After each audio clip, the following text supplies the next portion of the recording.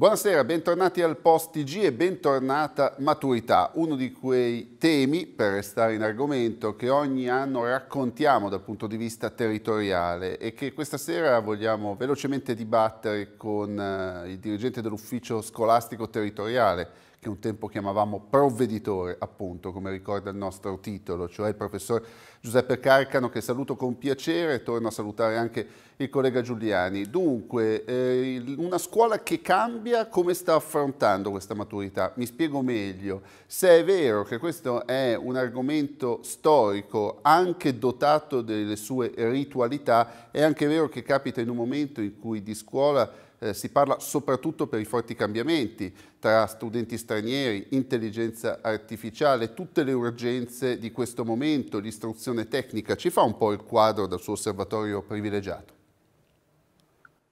Sì, eh, certamente basta leggere le tracce che il Ministero ha voluto fornire agli studenti per capire che siamo in una realtà molto diversa rispetto ai riti non parlo addirittura del mio esame, ma anche insomma, fino a, quelli di qualche anno fa, eh, perché i temi forti sono quelli dell'attualità, l'intelligenza artificiale, la guerra, il problema atomico che ritorna purtroppo, eh, l'isolamento eh, che hanno vissuto i giovani durante il Covid e che ha lasciato i suoi strascichi non, non da poco. Mi sembrano delle tracce molto belle, interessanti, che fotografano la realtà dei giovani di oggi, quindi credo sicuramente abbiano avuto tutti delle buone possibilità eh, di poter esprimersi al meglio. Eh, per le novità se ne parla poco, ma eh, siamo arrivati per gli istituti professionali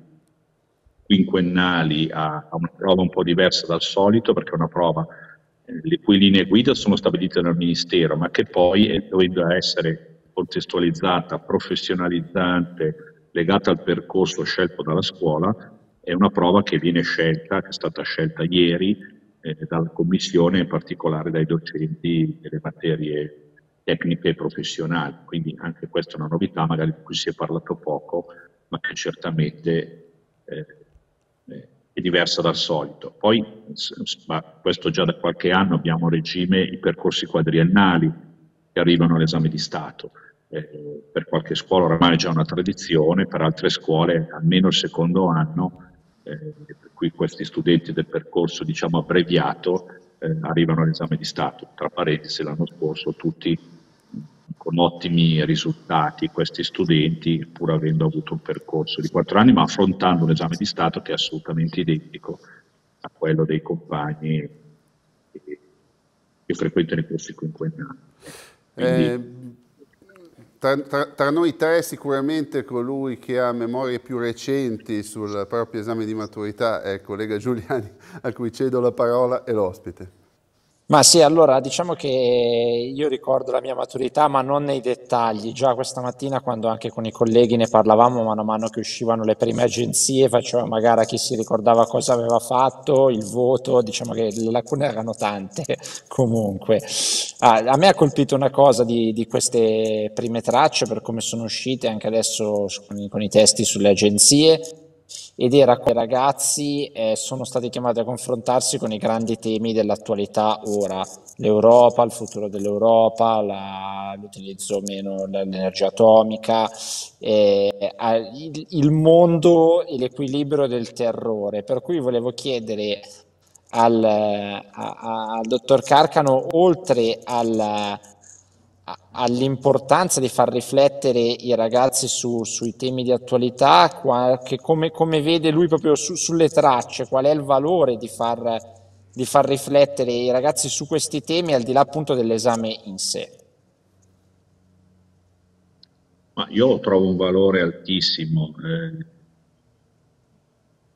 sono grandi temi sui quali ai ragazzi piace riflettere eh, se vengono aiutati e portati ad una riflessione, perché credo che nessuno di loro sia indifferente rispetto a quello che sta accadendo nel mondo, eh, alle guerre più o meno lontane e vicine, eh, il destino dell'Europa, eh, al di là poi delle questioni eh, che riguardano l'intelligenza artificiale, le tecnologie, cioè, sono veramente temi che trovo vicinissimi alla realtà dei ragazzi di oggi. Eh, la stessa poesia di Ungaretti che è veramente eh, ha, un valore, ha un valore eterno, insomma, richiamo alla guerra, a, a come nell'intimità la persona eh, vive drammaticamente un, un conflitto, questa invocazione di luce alla pace alla fine. Eh, secondo me davvero sono delle tracce molto, molto, molto, centrate che hanno permesso a tutti di potersi esprimere nel modo migliore, di coinvolgerli, anche di, di interessarli, ecco, perché eh, sono convinto che avranno messo molto de, di personale i ragazzi. Ecco. Tenendo presente che insomma, qualche traccia magari aveva qualcuna anche abbastanza difficile, devo dire, insomma, quella soprattutto secondo me, ecco, quel che riguarda il tema della costituzionalità del, del valore della cultura, tema molto interessante ma molto, forse mo, molto alto, forse troppo alto per, per, alcuni degli studenti.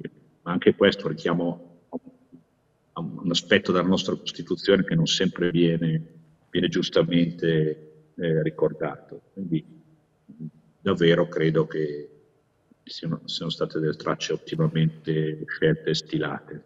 Bene, bene, io vi, vi, ringrazio, ringrazio il professor Carcano, ringrazio Davide Giuliani e che dire, in bocca al lupo a tutti i ragazzi impegnati in queste settimane di maturità. Arrivederci a tutti.